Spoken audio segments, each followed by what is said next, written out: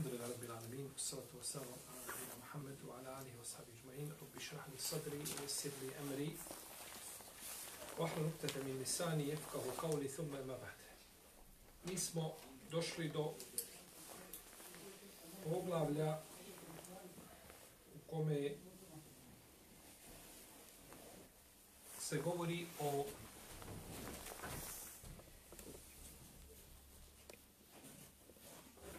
jednoj velikoj muđizi Allahog poslanika, sallallahu alaihi wa koja se desila, a to je da su mu njegova prsa rasporena. I da su oprana vodom zemzem. I ovo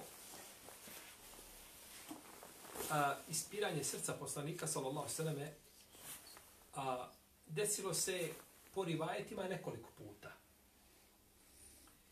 Desilo se prvo dok je poslanik sa osvijem bio mali dječak. Dijete, da ne kažemo dojenče, koliko je već dojio, a kako došlo kod muslima u sahihu, od Enesevi mali. Kaže da je poslanik sa osvijem da mu je došao Džibril. Aleyhisselam dok se igrao sa djecom. Pa ga je uzeo i oborio ga, rasporio mu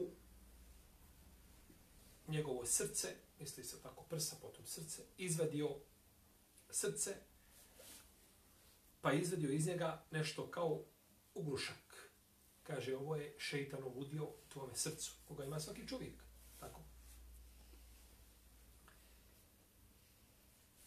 Potom ga je oprao u, u jednoj posudi u vodi zemzem. Šta je upravo? Srce. Srce.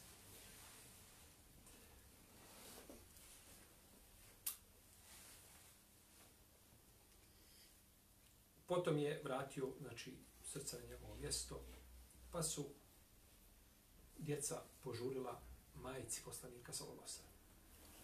Misli se na dojlju. Majku po mlijeku. Dojlju. Kažu, kutila Muhammed. Ubiše Muhammeda. Ubili su Muhammed. Ubijen je Muhammed, sallallahu ala rasulim. Pa su došli, pa su ga vidjeli da je boja lica promijenjena. Pa kaže Enes radijallahu talanu i vidio sam, kaže, trag tog otvorenja njegovih prsa na njegovom tijelu. Trag. Vidio sam kako je to zašiveno u tom smislu. I ovaj hadis bilježi muslim u svome sahihu. Da je srce poslanika sa osobom izaprato čime? Vodom zemze. Da li je bilo mudro to što je srce izaprano zemzemo ili nije? Trebali bi pitati koga? Našu profesoricu, uvaženu, je li tako?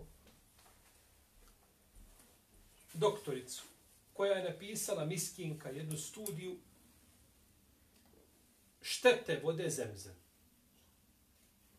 Šta? Štete vode zemzem. Pa su ljudi požu, kažu ona ima puno, ne znam, puno ima osim čega. Mineral. Soli. Ja, čega već ima. Uglavnom, napisala je tu studiju, znači što je izapiranje srca poslanika, sa osvijem bilo šta vodom zemzem bio čisti promašaj po njoj. To je opasno. Najgore je biti miskin. Za miskina nema lijeka. Prošli kroz generacije, prošli i, i ovaj učenjaci i umet se složio Muhammeda sa prvog do posljednjog, Poslanik da je voda zemzem, kako je rekao poslanik, najbolja voda na površini zemlje, da nema bolje, i svi potvrđuju tu odliku i tako dalje, i tako dalje, i tako dalje. I nakon toga dođe ona i pozahmeti se da uradi studiju kako voda zemlje, bili la haula wa la kuvvete illa billah. To je, poslanik kaže, najbolja voda na površini zemlje, ona kaže, Allah poslaniče, to je upitno. I onda ona to dokazuje, tako, tamo negdje, ovaj, u nekakvim onim laboratorijama pokušavala da dokaže ovaj, da voda ženka je štete, a, štete vode zemze.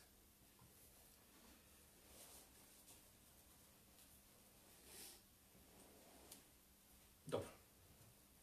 Uzviše je Allah dao da pored najbolje kuće i ljudi dolaze da izvire štetna šta? Voda koja će trovat Benoade. Koja će trovat muslimane. Čovjek kad hoće da nađe nešto, treba tražiti tamo mesele gdje su nema razišli. Tako možeš pridobiti nekoga. Ali kopkati, čačkati tamo gdje je bi predmet jednoglasnog mišljenja među učenjacima i nikad niko slova jednog kazao nije, ne možeš nikoga, možeš samo, možeš samo obrukati. Ništa drugo. Ali eto, dešava se i to da Allah bude na pomoći. Da Allah popravi stanje i doktorice i nas. Dešao se drugi put ovo ispiranje srca poslanika, sallallahu kada je imao, sallallahu sallam, deset godina i koji mjesec. Tako došlo u rivajetu u Beja ibn Kjaba, da je Ebu Horeire bio, kaže, bio je najhrabriji kad je u pitanju poslanika u smislu pitanja. A poslanika posebno, je tako, gotivio zato što je on, ovaj, vidio je njegov, njegovu brižnost kada su u pitanju ko? Hadisi. Pa mu je govorio, čak mu je dovu činio. Tako da ništa je Buhurene nije zaboravio nakon toga. I kada bi nešto Ebu Buhurene upitao poslanika, sva kaže, očekio sam, kaže, da me neće, kaže, Allah poslaniče, ko je najpreči za tvoj šefat na sudnjem danu? Kaže, znao sam, kaže Buhurene, da me neće niko prije tebe upitao. Jer sam vidio, kaže, da si brižan po pitanju hadisa. Kaže onaj ko kaže iskreno la ilaha illallah iz srca. Taj je najpreči za moj šefat. Jer iskreno kazati srca la ilaha illallah, to znači primijeniti din islam šta u svojom svome životu. Pa je Ebu Urene, kaže, bio najhrabriji kada je u pitanju, kada je u pitanju na Ashabi su se ustručavali pitati poslanika Salosa. Pa su zato voljeli da dođe šta? Neko iz pustinje da pita ljudi koji nemaju plaho edeba, dođu i sa vrata odmah onako, je tako? Džamijski postavi pita, o Muhammed, reci mi, kad će sudnji dan Muhammed? Pa ashabi su to voljeli. Voljeli da neko pita i tako su dobivali šta informacije. Pa je Buhari pitao poslanika, sa osram, kaže, Allah u poslaniče kaže, šta je to prvo što se vidio po pitanju poslanstva? Pa je rekao poslanik, sallallahu sallam, a bio je, pružio se, pa se ispred, sjeo. Kaže, bio sam, kaže, u pustinji, kaže, imao sam 10 godina i koji mjesec, kaže, pa sam čuo između men, iza moje glave da dvojica pričaju, ljudi, da čovjeka pričaju, kaže, jel to on? Kaže, jeste, to je on. Kaže, pa su mi prišli, kaže, izgled kakav nikad vidio nisam, odjeća kakvu nikad vidio nisam, kaže, pa me svaki uzeo sa strane za jednu ruku. Ali nisam, kaže, osjetio to njihovo prihvatanje da su me uzeli. Kaže, pa su me oborili na leđa, položili me u ravan položaj, me položili i kaže, nakon toga, kaže, rasporili mi moja prsa. Ali nisam, kaže, osjetio bol, niti sam vidio krv. Pa je rekao jedan drugome, kaže, izvadi iz njegovog srca zlobu i zavist. Izvadi šta? Zlobu i zavist što ukazuje da čovjek ne može voditi ljude i ne može e, pozivati ljude Allahu i njegovoj vjeri, a da ima u srcu zlobu i zavist. Jer to su dvije bolesti koje, kada se spoje, to je atomska bomba u srcu. Ne može. Čovjek prezire ljude i oni poziva.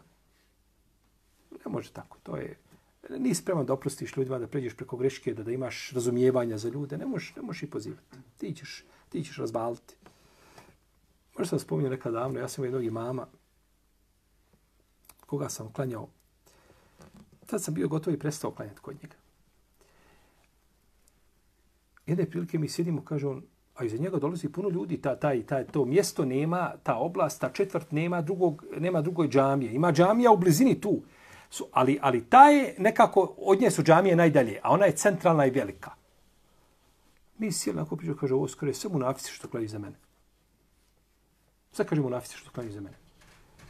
Jer on se nije slagao sa njima u nekim akaidskim pitanjima i tako dalje. Kaže, to skaje sve munafici što klanju za mene. Čekaj, čekaj, kako, kako, kako munafici boli? Ljudi dolaze i klanjuju. Kako, znaš da je, kako ti znaš da su munafici? Ali oni njega nešto ne popa. Ne možete podnositi kad svaki dan se s nekim svađaš. Svaki dan imaš novo, no, no, novi front se otvorio. I naredne, dobro, pa ajde, ako možda je čovjek preletio da kaže su monafice. Nije to u Bosni. Ali. Naredno, naredne, odmah džuma dolazi nakon toga, izlazi na mimber, kaže, Allaha, kaže, uzimam za svjedoka da vas svi uvolim, kaže u ime Allaha. I ne znam da li sam jednu džumu klanio nakon toga kod njega. Nisam, nije mi srce više dalo, išao sam jednu dalje džamiju. Pa ti, ti bolan ljude, ti ljude ba, lažeš ih. Kažeš im šta? Munafici ste, a vamo im kažeš volim vas u ime Allah. Kako možeš voliti munafike u ime Allah? I ostao je tu jedno vrijeme i otišao odatle. Sada tu to uzvišenje Allah učiniti da ti budiš da, da, da izlaziš pred ljude i da im pričaš i da im govoriš, a ti zlobu u srcu nosiš prema ljudima i smatraš ih najgorim, najgorim bićima. Dobro, šta je ovdje bilo? Kaže, pa su izvadili iz moga srca šta? Zlobu i zavist. Jedan kaže, ugrušak izvadili su iz srca, i odstranili to, kaže, potom je rekao, kaže, usadi u njegovo srce blagost i milost. Pa mi je rekao, kaže, ustaj, idi. Pa sam se, kaže, vratio blagi milosti. Ovaj rivajet, kaže za njega, imam El Busiri da je dobar. Bileži ga imam Ahmed u svojom muslimu, bileži ga Dijal Maktisi, bileži ga imam Ibn Asakir u svojoj povijesti, velikoj. Kaže da je dobar. Međutim, Ovaj rivajet je problematičan. U njegovom lancu prenoslaca ima Mohamed ibn Muaz, ibn Mohamed, ibn Ubej ibn Kaab. Mohamed ibn Muaz i on je nepoznate biografije njegov otac. Znači i i Muaz su nepoznate biografije. Imaju dva Arabija koji su nepoznate biografije. Pa je to lanac koji ne može proći nikako. I podrazno. Taj lanac znači ne može proći. Tako da je najprije da se ovdje radi o daif hadisu ovo nije potvrđeno od poslanika, sallallahu alaihi wasallam. Treći put je kada je dobio objavu. Kaže Aisha radijallahu ta'ala da je poslanik sallallahu alaihi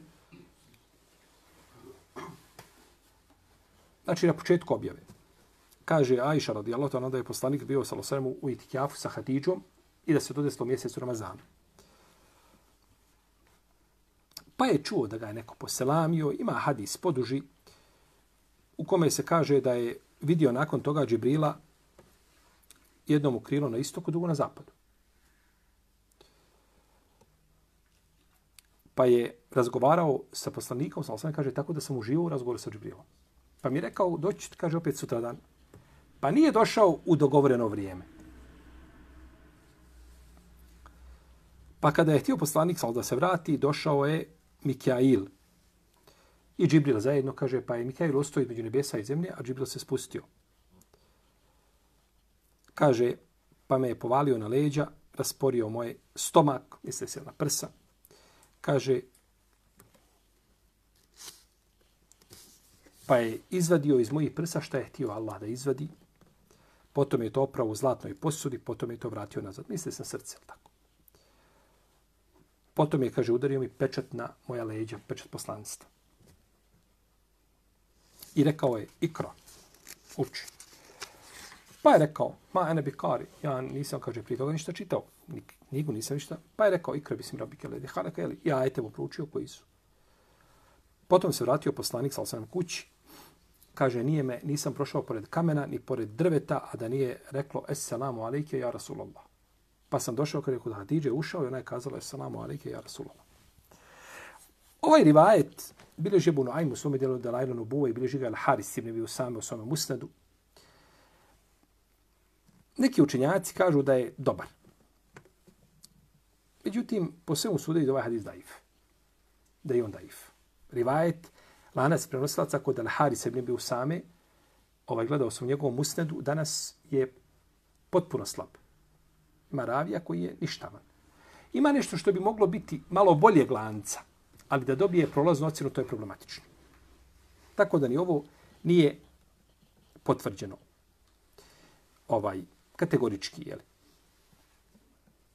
Ima četvrti rivajet ili četvrto vrijeme kada je poslanik, kada, mu, kada smo prsa rasporena, a to je kada je šta?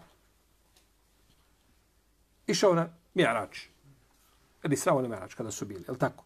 Došlo u hadisu Enesa ibn Malika da je poslanik, sal te večeri, dobro, Enes nama prenosi da je poslanik sa imao, bio malo dijete, ovo hadisu muslima, prvi hadis, da je bio malo dijete, dok bio dojenčeš, do su prsa rasporena, dok je igrao sa dječacima. Enes ibn Malik, je li tad bio rođen? I kako? Definitivno. Nije bio rođen ni kada je poslaniku sal dolazila objava. Kada je počelo dolazila, nije bio rođen u to vrijeme. Odma, jel?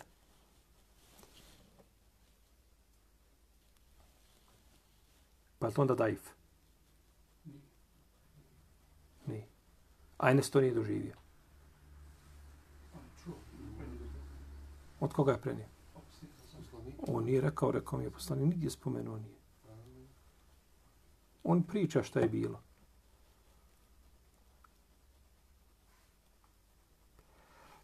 Ovo kada sam prenosi, ovo je mursala sahaba.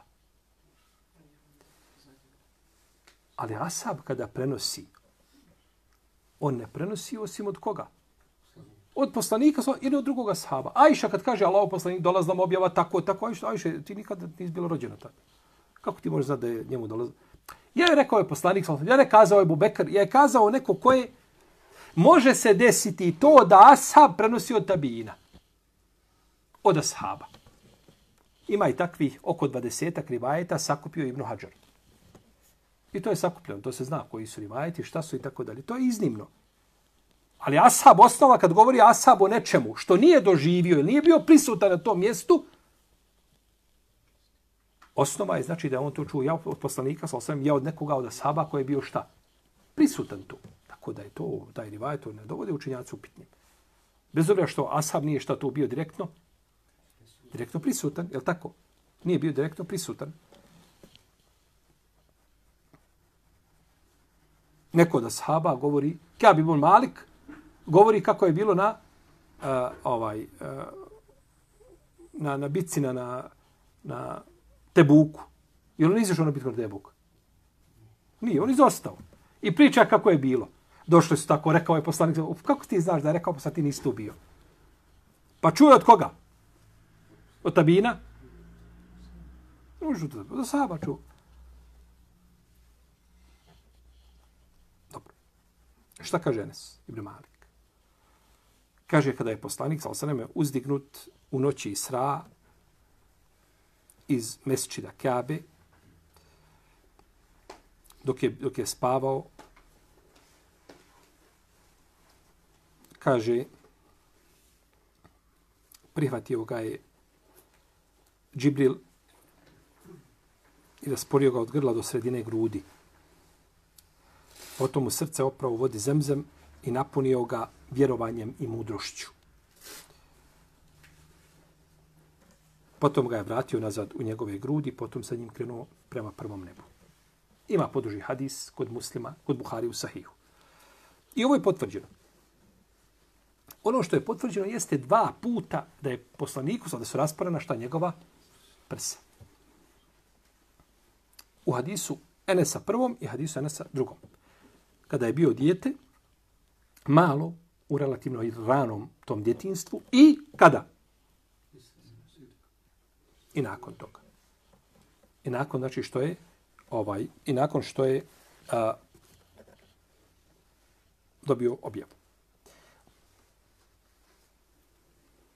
Ova druga dva slučaja koji su došli u hadisima su problematični. Jer ti hadisu, ha, ovaj, što se tiče lanaca prenosaca, nisu potvrđeni.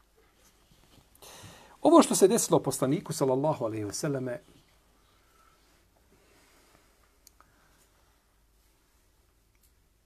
a ovo su muđize u koje vjeruje mu'min i nije dozvoljeno čovjeku da poriče ove muđize.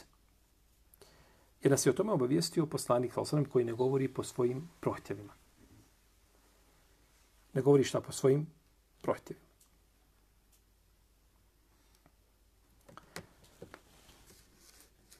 Uzvišenje Allah objavljuje, poslanik se dostavlja, a mi smo dužni da se pokorimo. Mi smo dužni da se pokorimo. Neki učenjaci spominju mudrost, mudrost ovoga događaja. Teško je kazati zašto je to bilo. To je mudrost koju uzvišeni Allah zažal zna. Međutim, vađenjem tog dijela koji je udio šeitana u srcu, nema sumnje da je to jedan od ciljeva čega? Čišćenja srca. Isto tako da poslanik sa svem odraste potpune čudi, da se pripremi za jednu veliku misiju. Nakon toga da mu srce bude očišćeno prije što će razgovarati sa svojim gospodarom. I slično tome. Znači, odrasto je poslanik, sa svem njegovo srce čisto prema ljudima. Jer ne može svjetlo na zemlji širiti onaj ko nema čisto šta? Srce.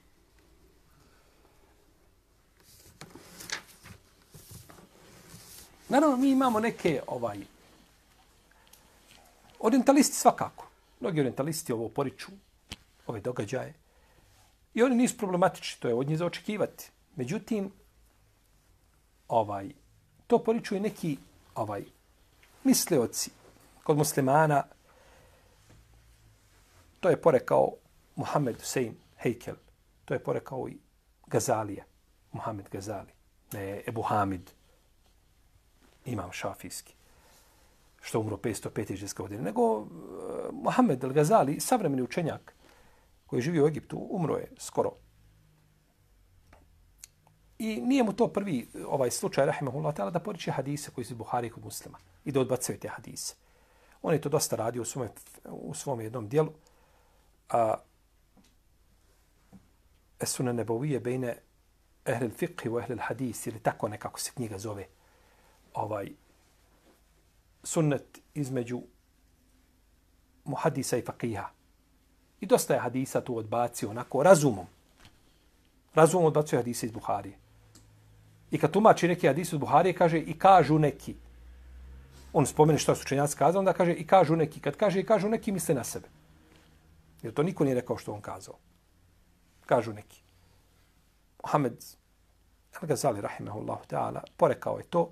To je kod njih šubha, nije on ciljao da porekne hadise vjerodostojne, u redu, da mu je cilj da porekne hadis. To je, to je musibet.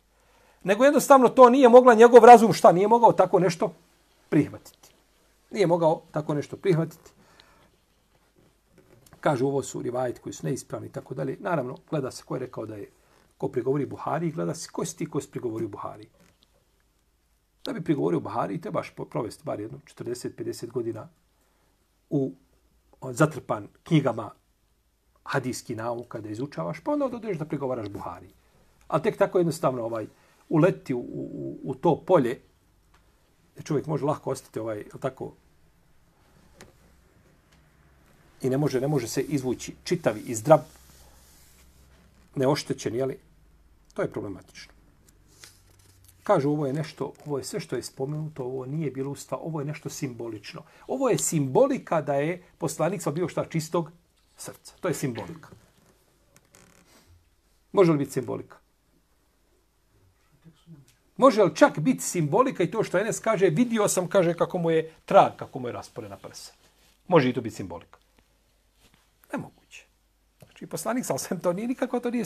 Jer ta simbolika se može svakome desiti, jel tako? Svako od nas može usni, usniti nešto ili slično tome, kao kada kažu, e, ne znam, Isra i Mi'arađ, Mi'arađ, hajde da kažemo Mi'arađ, nije, kaže, to bilo stvarno, to je bilo u snu.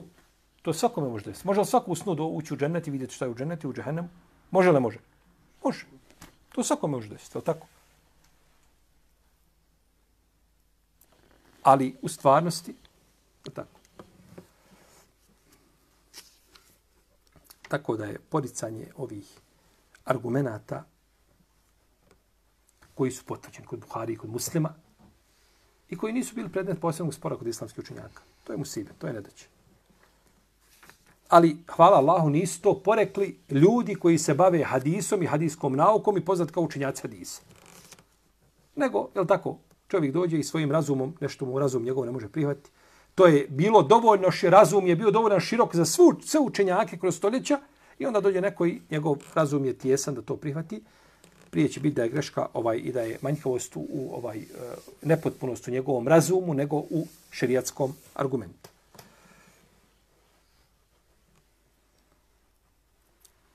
Isto tako, Allahov poslanik, sallallahu sallam, je tražio od uzvišenog Allaha da mu učvrsti njegovo srce.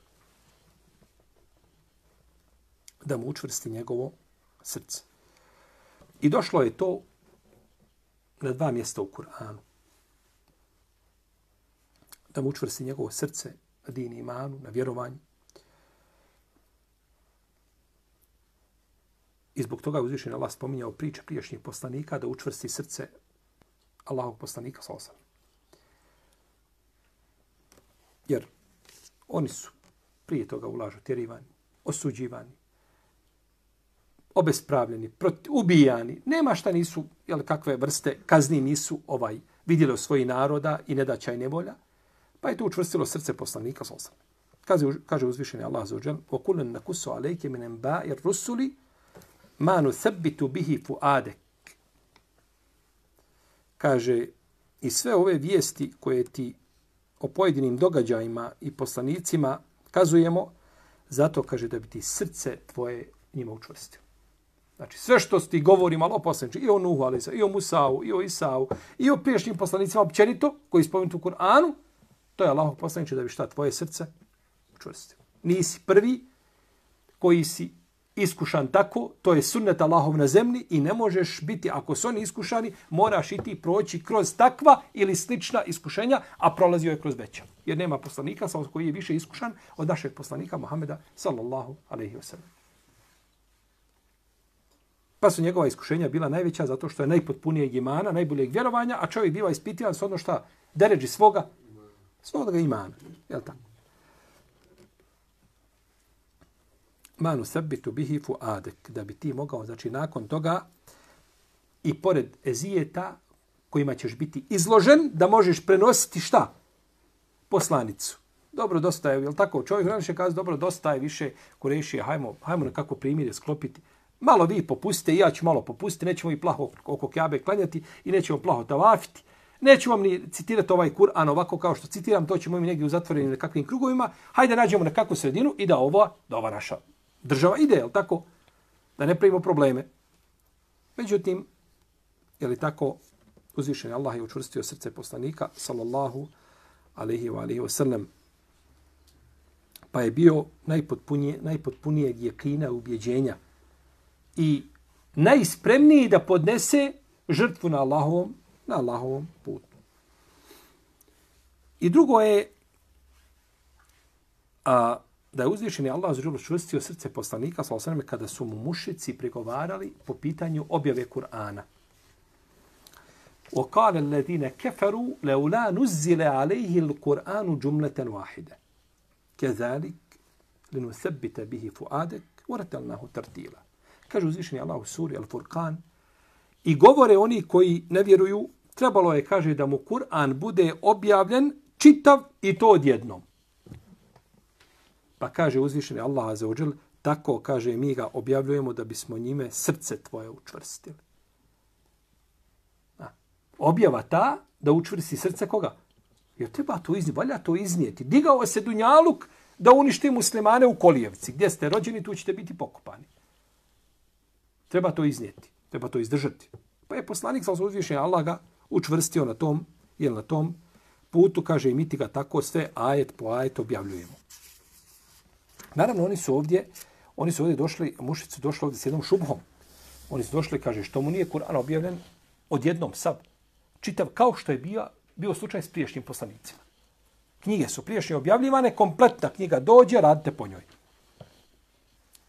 Međutim, Kur'an je objavljen, znači, shodno događajima koji su bili, tako, dešavanjima, desi se nešto, pa to Kur'an komentariše, poprati to, pojasni šta se dešavalo, i stanje munafika, i stanje licemjera, ovaj, i stanje onih koji su ovaj radili i protiv muslimana, i stanje nekih vjernika koji su jel, bili tako nekakvim nedomicama, koji su slušali u fikum se maune lehom, a među vama ima onih koji slušate šta govore licemjere, Znači, pa Kur'an to pojasni i onda to učvršćuje koga? Jer nije isto kada ti imaš knjigu kompletno objavljenu i sve u njoj. I nešto se desi i ti tražiš u knjizi dobro šta je to sada što je općenito objavljeno. I kada se desi određeni događaj i zbog njega dođe ajet, pa uzvišeni Allah očisti našu majku, a osudi one koji su širili neistine. Ne može to nikako biti isto. Da je došlo u Kur'anu, nemojte u vjernicima širiti bestidne vijesti, nemojte, nemojte. To je moglo doći tako. Ali to je općenito. Ali kada dođe povodom nečega, to se razlikuje. I tako se onda Kur'an lakše razumijevao, lakše se pamtio, lakše se svatao. Pamtili se povodi, znači ajeta zbog čega su došli. Pa je u svakom pogledu, znači, takva vrsta objave koja, koja je bio počašćen poslanik, sam sam bila puno šta?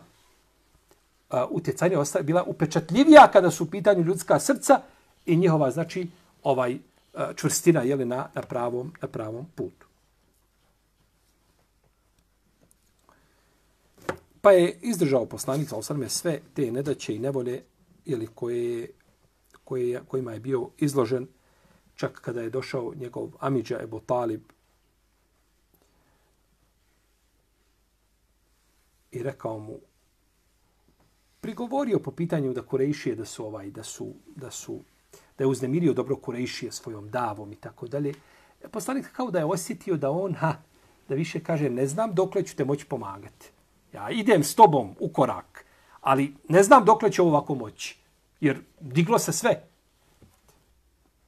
Pa je poslanik sa osaname rekao, kaže, kaže, vallahi, kaže da mi stave sunce u desnom mjesecu lijevu ruku, kaže, ja ne bi ostavio ovo čemu pozivam.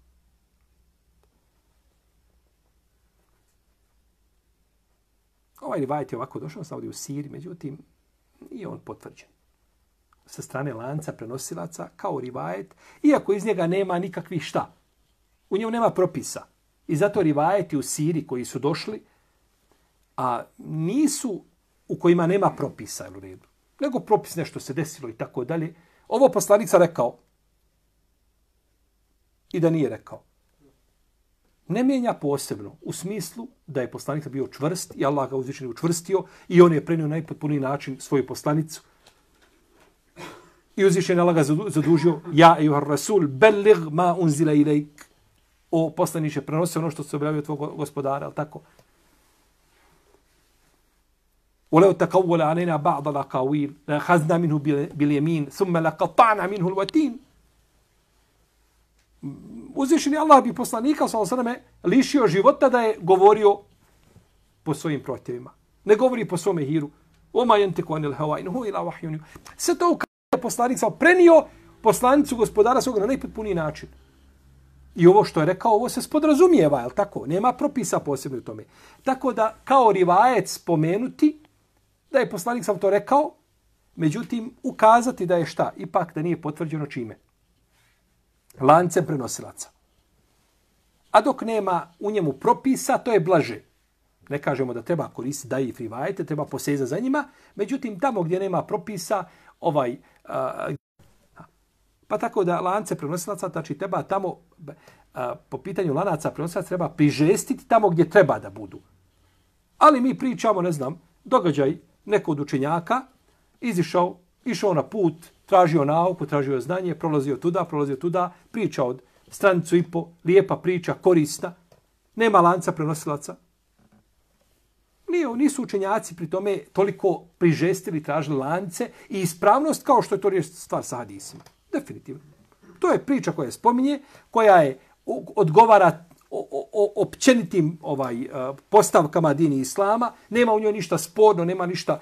A do ti spomeneš priču, neko do Čenaka došao, pa je zašao do to mjesto, tako, pa je ovaj, zatekao ljude, jel tako, da se vesele uz, jel tako, ovaj, uz muziku, uz, uz, uz alkohol, pa im se pridružio, nije vidio tome nekakve smetnje. Naravno, kad dođe nešto što je munker, jasan, to je jasno.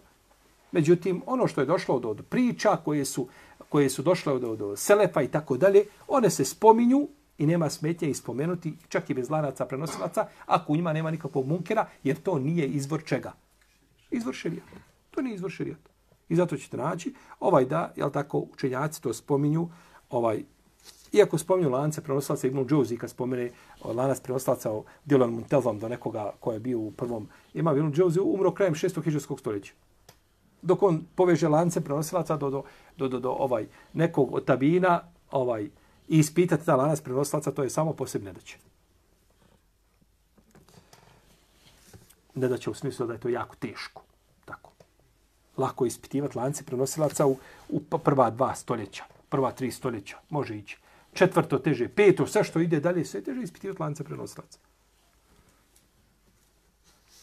Jeste. Dobro.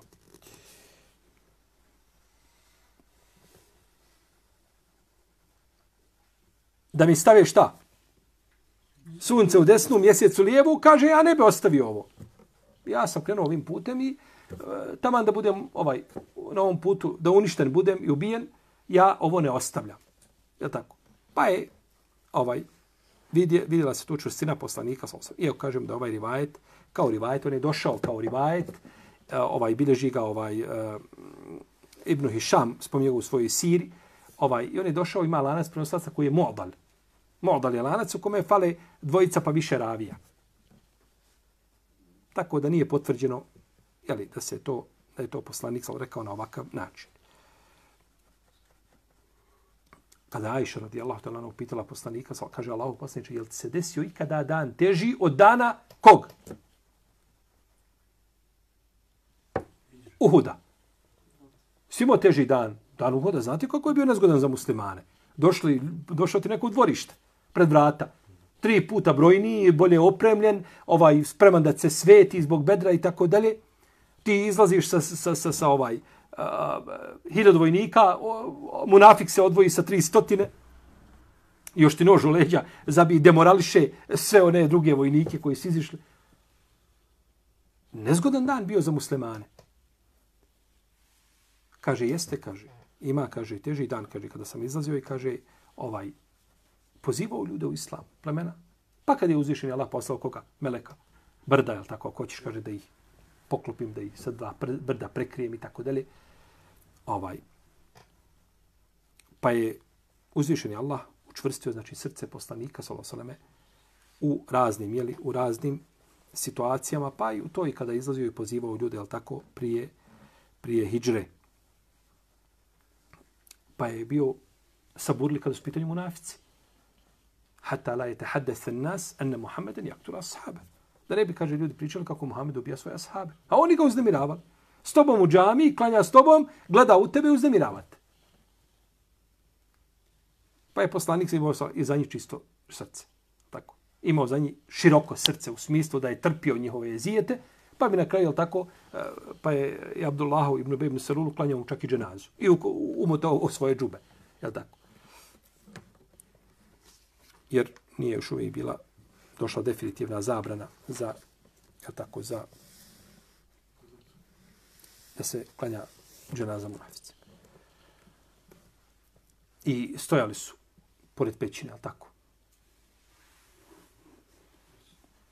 Stojali šta pored pećine. Pa kaže da neko spusti, kaže svoju glavu, Allah poslaniče, niže.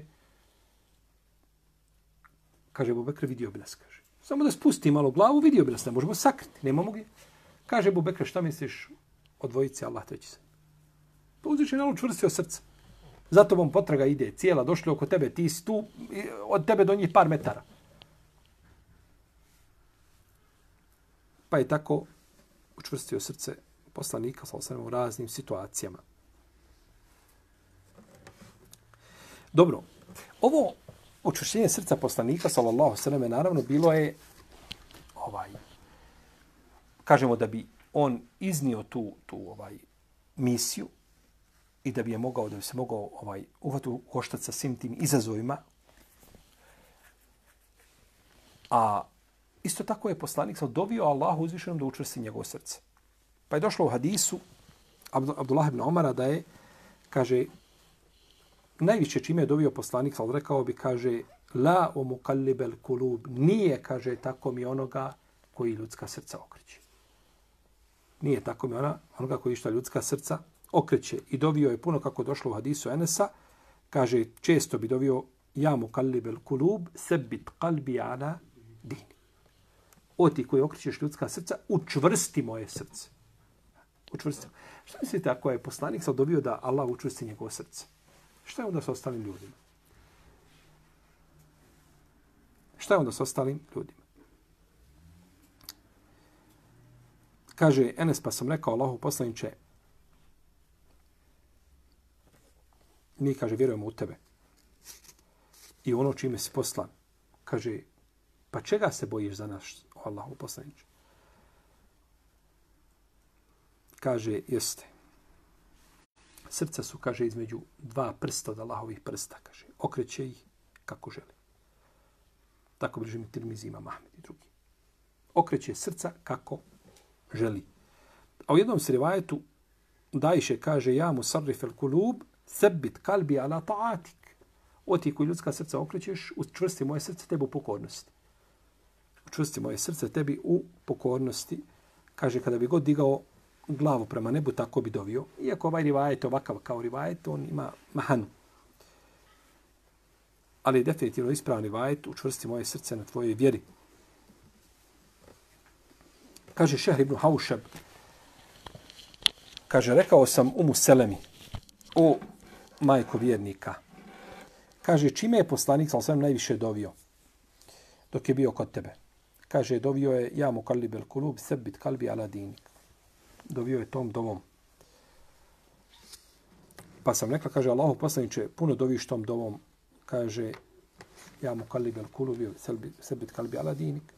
Pa je rekao, o umu seleme, kaže, nema ni jednog čovjeka, a da njegovo srce nije između Allahovih prsta. Kaže, čije srce želi učvrsti, a čije srce želi okrene ga. Znači, skrene. Potom je proučio, Rabbena la tuzir kulubena bade idhedejtena. Gospodar, nemoj nas na stram puticu odvesti nakon što sam se pravi put uputio. Jer nema većeg, nema veće nedaće od toga da čovjek ode u dalalet nakon čega? Nakon Dalaret ne zna čovjek, nikad nije znao, cijeli život išao kako išao, je tako? On sa islamom nema ništa. Ne zna ni kad je Bajram. Ništa ne zna o islamu, pojma nema. Osim to što se on deklariše da je musliman, je tako? Za razliku čovjeka koji je bio na pravom putu i onda nakon toga skrene. Ti često znaju biti ovaj i najžešći, najljući neprijatelj islama ko je bio šta na pravom putu, pa skrene.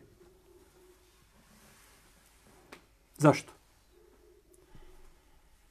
Zato što strana kojoj se priklonio uvijek debelo sumnja u njegovu teobu. Da se on iskreno pokajao. Pa on uvijek mora dokazivati šta iskreno svoje teobe. Svako malo napadne na vjernike. Svako malo napadne na ova. Mora dokazati koga? Jer onaj tamo gleda i piše ga. Šta je rekao, gdje je izjavio, kako je rekao. E, evo vidiš, 15 dana prošlo, nisi oglasio na Facebooku. Nikoga nisi oprao od muslimana. Šta je to? Da nisi opet te obe došao, se opet ne bi vratio u džamiju i opet on napiše tako postud. I smijavaj tamo, tako. Nažalost.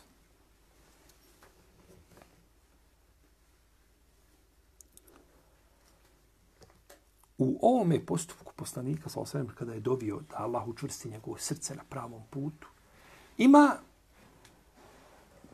imaju, ima nekoliko koristi. Prvo, dokaz Allahove moći.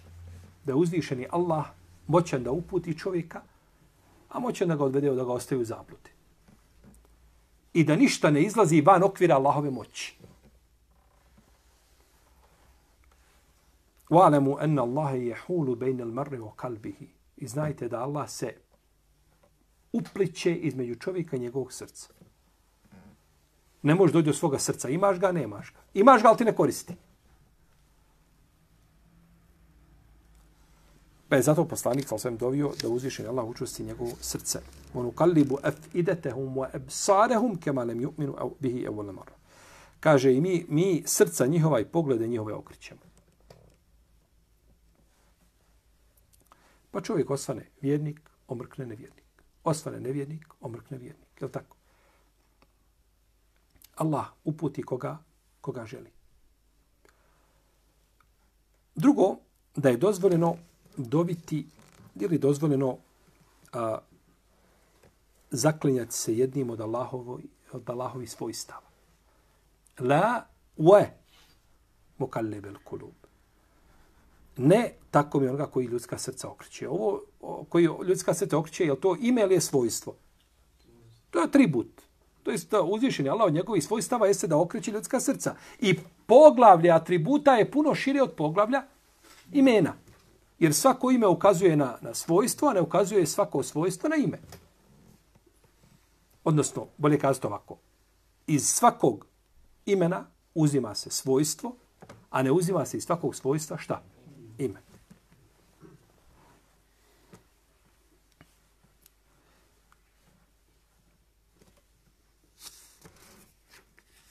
I isto tako da je srce organ, najbitniji organ u čovjeku. Ako je ono zdravo, zdravi su ostali organi, ako je ono bolesno, znači i ostalo tijelo je sve bolesno. Kako došlo tako u poznatom hadisku Buhari kod muslima. Ulaike keteba Allahu fi kulubihimul iman. To su oni u čija je srca uzvišeni Allah a vjerovanje u sadiju. U srca njihova vjerovanje u sadiju. I kaže uzvišeni Allah, وَلَكِنَّ اللَّهَ حَبَّبَ إِلَيْكُمُ الْإِيمَانَ وَزَيَّنَهُ فِي قُلُوبِكُمْ Kaže, već je uzvišeni Allah, kaže vama, omilio iman i ukrasio ga u vašim srcima. Ukrasio ga u vašim šta? Srcima. وَلَمَّا يَدْخُلِ الْإِيمَانُ فِي قُلُوبِكُمْ Kaže, ali još pravi iman nije ušao u vaša srca. وَلِيَبْتَلِيَ اللَّهُ مَا فِي سُدُورِكُمْ وَلِيُمَحِسَ مَا فِي قُلُوبِكُمْ Kaže da bi uzvičeni Allah ispita ono što je u vašim prsima i istraži ono što je u vašim srcima. I hadisi koji govore, ajeti koji govore u tom smislu. Znači da se posebno akcent stavlja na čovjekovo šta? Srce. Na srce. Došlo je u jednom hadisu da je poslanik sallallahu sallam rekao islam je ono što je spoljašnje, a iman je ono što je u srcu. Potom je rekao et takva hahuna, et takva hahuna, pokazao na prs, da je, srce, da je tu bogobojaznost.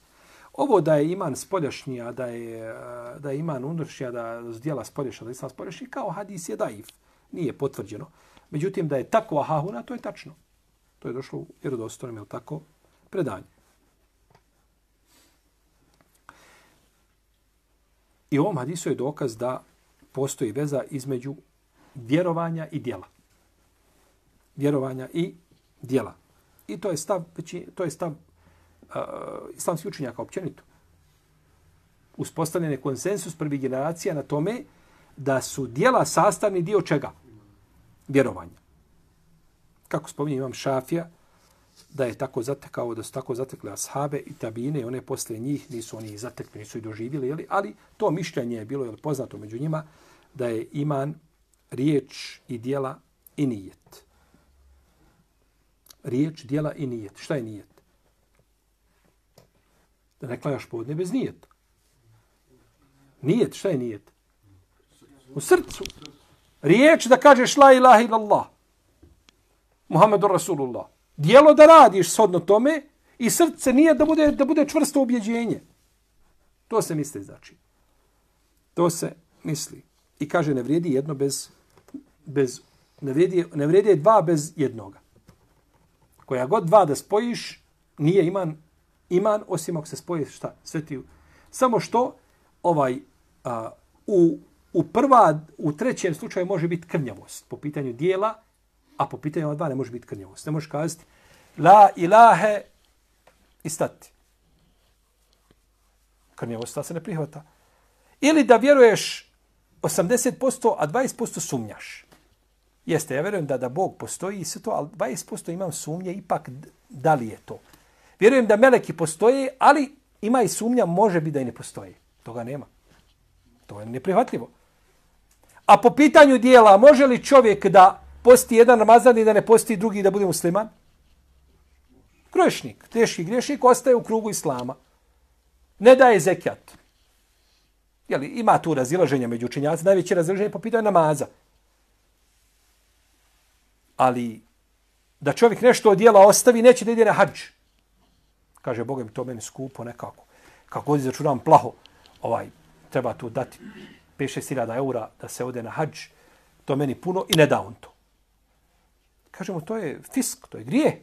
Ali nije zbog tog postupka, zbog toga što to iz siromaštva, zbog toga što ne da iz, iz škrtosti, nije izišao bar u okriva islama, jer nije porekao šta. Dok je razilaženje po pitanju ovaj namaza, ono je jako, imamo i razilaženje po pitanju onoga eh, uh, zakijata, a još manje razilaženje po pitanju, znači, posta i hađa. U svakom slučaju, znači, krnjavost može biti po pitanju čega? Dijela, ali po pitanju uh, znači, riječi i, i ovoga mora čovjek, znači, uh, vjerovati, vjerovati. Naravno, čovjekov iman raste i opada, ali ne može čovjek upasti u sumnju, da sumnja u i da je to sastavni dio, znači, njegovog ubeđenja, sumnja u njegovog gospodara, ne, ne, nešto što je dužan da vjeruje, to je, znači, krajnje zabranjeno. Dobro. Imam Ibn Abdelber spominje konsensus islamskih učenjaka isto tako na u vezi s ovim da, da je da su da je iman sastavljen iz riječi šta i i dijela. Da raste činjenjem dobrih dijela, a opada činjenjem nepokornosti.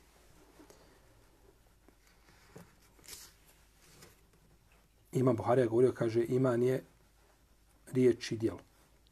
Riječ i dijelo.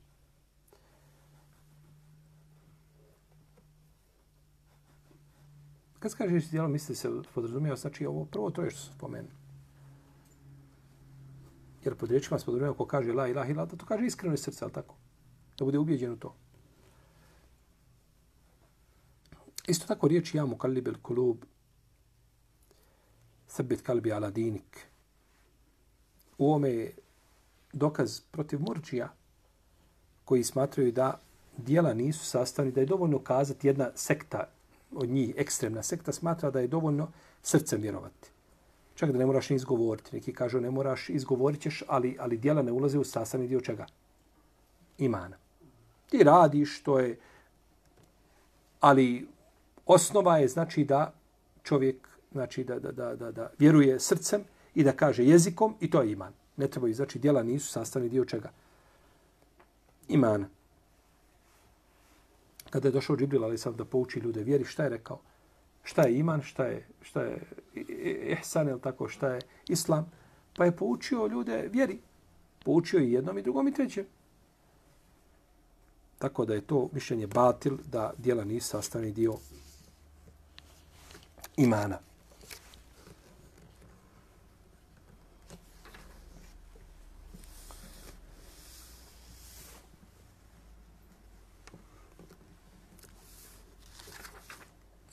Isto tako ovdje je znači potvrda Allahovog svojstva, znači prsta koji spomenu znači ovome, ovome a, hadisu koga prve generacije nisu tumačile metaforički. Nego znači tumačili to kao stvarno značenje, jeli, da uzvišeni Allah ima taj atribut, to svojstvo, ali ljudi ne znaju kakvoću toga, jer uzvišeni Allah kaže, lejsik je misli hišaj. Ništa mu znači ne liči, i šta god da čovjek zamisli, Allaha da zamisli, kako god da ga zamisli, Allah je suprotan tome. Ne može biti takav.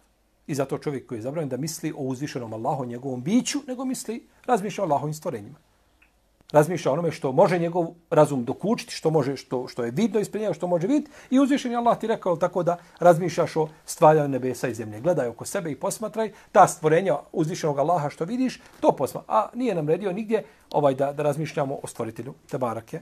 O